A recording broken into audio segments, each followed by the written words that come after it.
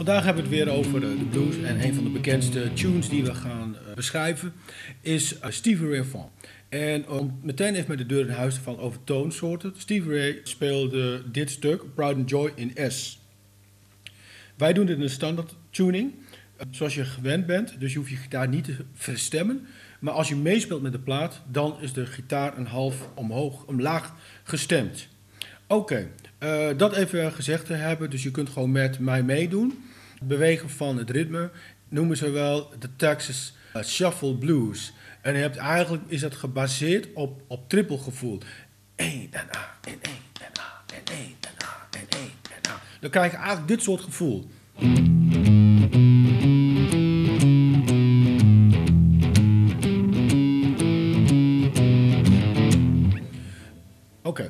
Uh, dat is even om het ritme, dat gevoel en de flow te voelen. Oké, hij begint natuurlijk heel kenmerkend en daar gaan wij mee beginnen. Oké, je zet je hand hier op de B-snaar, op de vijfde fret. En uh, je slaat het samen aan met de hoge E. En het mag allemaal een beetje quick and dirty worden gespeeld, want dat, dat is eigenlijk wel het. Dus je hoeft niet te zorgen te maken over welke snaren. Dus ik demp, ik demp heel veel snaren met mijn palm mute. En ik laat eigenlijk de B-snaar een beetje voornamelijk met, uh, de, op de vijfde fret de, de toon doorklinken.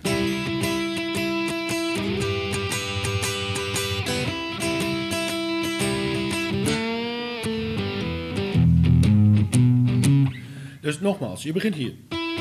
En je slaat eigenlijk een beetje, ja, meerdere, meerdere snaren sla je tegelijk aan. Maar het gaat eigenlijk een beetje om de, om de E-noot die onder jouw ringvinger uh, zit op de vijfde fret B-snaar. En die sla ik in combinatie aan met de hoge E, zodat je twee noten tegelijk hebt.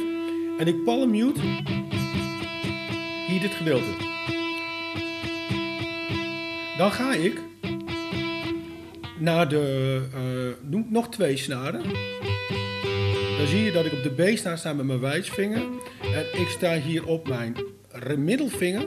Op de, moet ik even kijken, 7, 8e fret op de B-snaar. Twee noten tegelijk.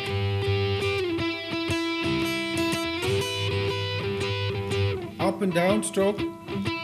Up and down stroke. Dit is het idee. Dus nog een keer.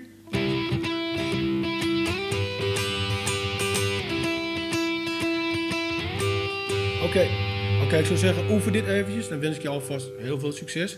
En in de volgende les ga ik door hoe dit faseert zeg maar, naar het volgende gedeelte in deze show. Succes!